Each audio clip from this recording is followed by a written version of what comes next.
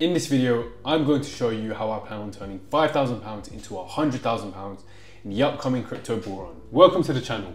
If you're new here, my name is Neru Arul and I've been a crypto investor for the last four years. In the 2023 bearish market, I made over 108% return on investment with just four moves. Yes, that's right, four single moves. And that is what I plan to do with this series. Show you exactly how I'm gonna compound my account from 5K all the way to 100K. As you can see, we have loaded up the account with 5,000 pounds and we are ready to invest our way to 100K and escape the matrix. I'm now going to go ahead and set my limits for the coins that I'll be buying now.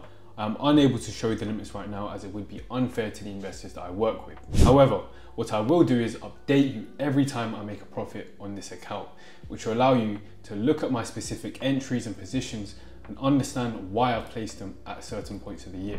To put things into perspective for you, 95% of people in the markets don't even make a penny. They are known for losing money. So yes, it is extremely difficult to make profit from the crypto markets if you don't know what you're doing. But on the flip side, for those who know exactly what they're doing in the markets, cryptocurrency investing is by far the easiest and quickest way to make a lot of money. But remember, that's on the basis that you know what you're doing. And that is exactly what I aim to show you in this series. Now, for those of you who aren't familiar with my style of investing in crypto, I like to be very patient and reserved and let the market come to me. Now, every single asset class from the beginning of human history has a correction phase, whether it's real estate, gold, commodities, the S&P 500, forex pairs, they all correct. And in crypto, when the crypto market's correct, that is when I buy. That is exactly when I enter the markets. Last year, only had four decisions to make, and it was to take profit four times. That's how passive my strategy is. That being said, am I going to expect to make 100k within two weeks? Probably not, because I have realistic targets. I'll be buying and selling in the market two to three times a year. Unlike the version of me three years ago that will just throw money into the market and hope to God that a coin does 14,000% return and I become a millionaire overnight. I know, incredibly unrealistic. Success in any realm of life does not happen overnight, especially investing in financial markets. This is why I'm happy to be patient in the market because I have a long-term perspective in the game. I know that I'm an investor. I'm not a gambler, I'm not a scalper, I'm not a day trader or anything of the kind.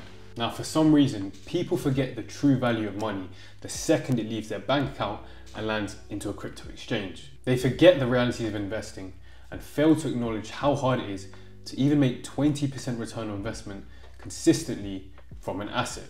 Let me give you some realistic examples. Real estate industry, people at best will make a 10% net profit and will put themselves through debt just to achieve it.